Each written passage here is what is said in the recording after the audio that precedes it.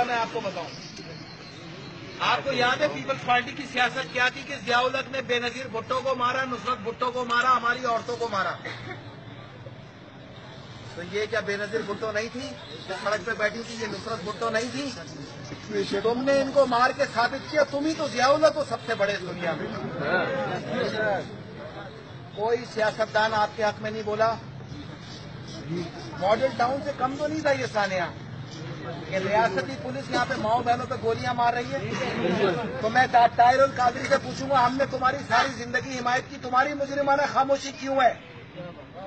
ہماری طرف سے ورنہ تم بھی مر گئے اور پھر آج تمہارے لیے ہم بھی مر گئے۔ جو ہمارے ساتھ چلے گا وہ ہمارے ساتھ ہے۔ وہ ہمارا ہوگا۔ جو ہمارے ساتھ نہیں چلے گا اس پہ ہماری طرف سے بھی اور خدا کی طرف سے بھی ہم دو کام نہیں کرنا اسلحہ نہیں اٹھانا قانون شکنی نہیں کرنا۔ دنیا میں وہ قانونی نہیں جو آج کے بعد تم سے ناجائز کر جائے ہم نے ساری زندگی وردی کی وکالت کی ہے میں وردی والوں کو آج یہ میسج دیتا ہوں شرافت سے ان کی بائکیں چھوڑ دو۔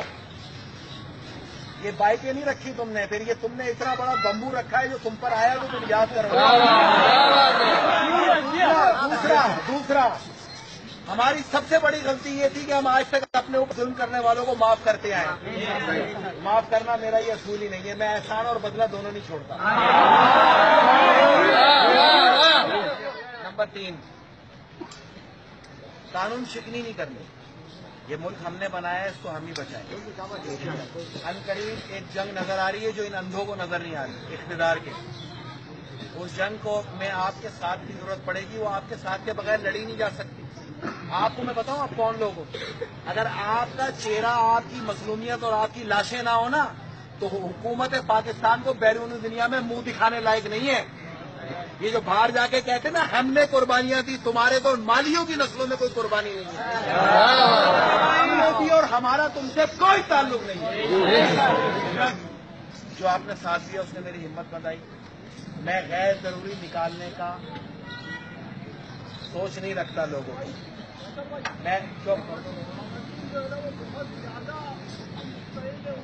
میں سب سے مل کے آیا ہوں۔ آپ آپ بزرگ اگر ضیاء کے دور میں کھڑے ہوتے تو آج ہم یہ وقت ہی نہیں دیکھ رہے ہوتے۔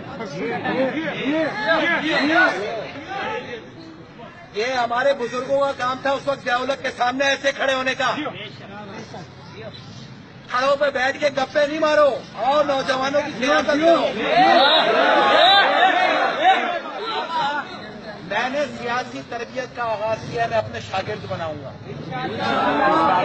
دو چیزیں چاہیے دو چیزیں ایک شہید کا وارث ہو دوسرا پاکستان کا وفادار ہو اپنے سی ویز کے ساتھ اور پولیس ڈائریکٹر سرٹیفکیٹ کے ساتھ۔ ہمیں ہر سال کریں یہ یاد رکھنا فیصل آپ بھی کسی کرمنل کے پیچھے کبھی نہیں آیا نہ آئے گا۔ حق کے پیچھے آیا اور آئے گا۔ میرا ٹی وی سے دور رہنا نقصان دہ ہوا۔ ورنہ میں آپ سے رابطے میں تھا۔ لیکن آپ بھی ٹی وی میں بیٹھ کے صرف مزے نہیں لو۔ جو کہا جا رہا ہے اس پہ عمل کرو۔ میرا سوشل میڈیا پیج انہوں نے بلاک کیا ہوا ہے مسلسل جو بھی چیزیں اپلوڈ ہو رہی ہیں ڈیلیٹ کر رہے ہیں۔ اپنے اپنے پیجز سے یہ پیغام چلاؤ اور جو میری پوسٹ ہے اس کو شیئر کرو۔ لوگوں تک پیغام پہنچاؤ۔